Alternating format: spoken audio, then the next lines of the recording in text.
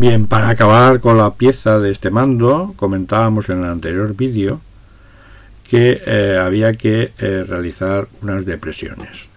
Bien, vamos ya, hemos visto en otros vídeos cómo hacer unas ranuras verticales, cómo hacer un moleteado en diamante. Vamos a generar otro, otro tipo de agarre. Vamos a seleccionar esta cara, nos vamos a eh, par de sin y vamos a crear un croquis. En principio el croquis vamos a crearlo con un triángulo, polígono de tres lados. Vale, vamos a posicionarlo. Primero de nada voy a poner esta línea en horizontal. Bien, vamos a hacer que este punto coincida con el eje vertical. Vamos a hacer que este punto y este punto con respecto al eje eh, vertical sea simétrico. Vamos a darle unas dimensiones. Un diámetro, por ejemplo, de 5,5 puede ser demasiado. 5 milímetros.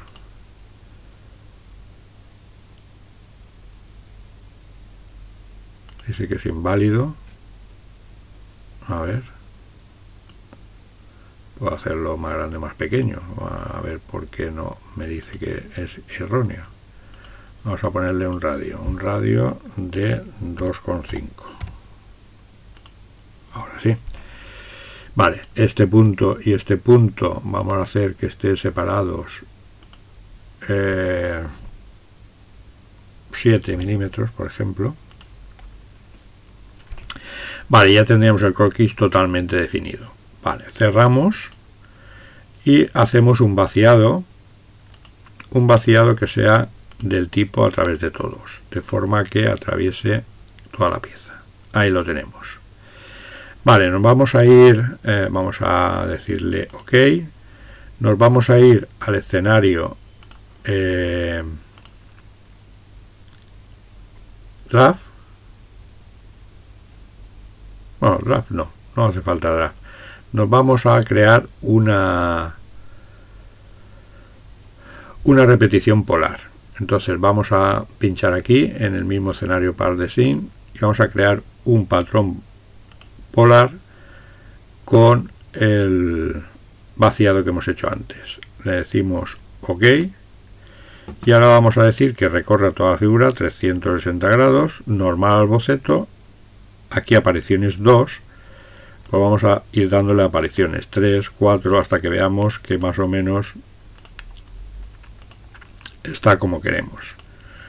10, eh, vamos a darle pelín más. 11, 12 yo creo que con 12 repeticiones queda bastante bien. Vale, pues le damos a OK y tendríamos ya ah, la pieza. Lo que ocurre es que estos bordes son rugosos y lo que vamos a hacer para refinar todavía más la pieza es que todos los bordes que hay aquí sean redondeados.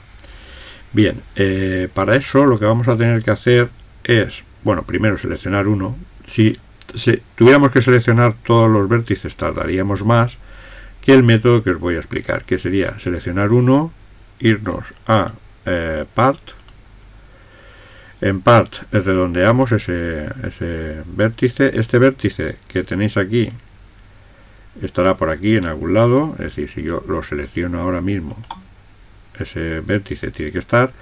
Pero a mí lo que me interesa es seleccionar todos menos el hueco que dejamos para la cabeza de tornillo y la tuerca. Es decir que lo que voy a hacer es seleccionar aristas y decirle que seleccione todas.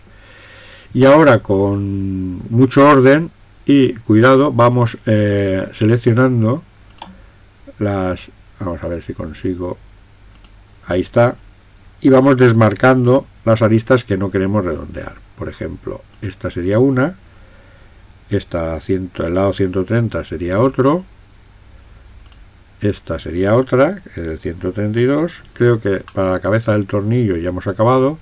Nos vamos a ir a la parte de la tuerca que es un pelín más complicada de seleccionar. Y vamos a empezar. Empezamos eh, por eh, la parte exterior. Le quitamos el lado 39 este que sería el lado 37 este que sería el lado 38 tiene que haber aquí 6 porque es un alojamiento de tuerca con lo hicimos con un polígono de 6 lados y esta lo lógico es que fuera 41 efectivamente. Vale. Vamos a con las verticales. Aquí tendríamos una vertical que sería el lado 120 aquí vamos a poner bueno ya que estamos podemos seleccionar esta y es el 121 vamos a seleccionar esta y es el 116 vamos a seleccionar esta que es el 117 vamos a seleccionar esta que veis en verde si la quitamos aparecerá en negro perfecto. Esta no sé si la hemos seleccionado ya no, la 119 fuera. Vamos a seleccionar también este esta lista que no queremos que redondee y esta arista que tampoco queremos que la redondee. Vale. Nos vamos para acá vamos a movernos. Aquí tenemos esta lista que tampoco queremos que redondee el lado 118 esta lista a ver si la selecciono bien no hay manera. Ahora la 122 vamos a mover la pieza y vamos a ponerla así que se selecciona mejor. Vamos a seleccionar el 126 que va fuera el 124 y lo lógico es que el 123 y el 122 también vayan y el 125 vayan fuera vamos a ver si nos queda alguna por seleccionar esta está en verde todavía, que es la 123. Y si no me he equivocado, ya están deseleccionadas todas las aristas que no queremos redondear. Vale, ahora nos falta por fijar el radio de las seleccionadas. Vamos a hacerlo con 0,7 milímetros de redondeo y le decimos OK. Vale, y como veis, el alojamiento de la tuerca se ha quedado sin redondear el alojamiento para cabeza de tornillo también y ha redondeado todos los bordes exteriores de la figura y esta ya la podemos dar como pieza definitiva hasta luego el próximo vídeo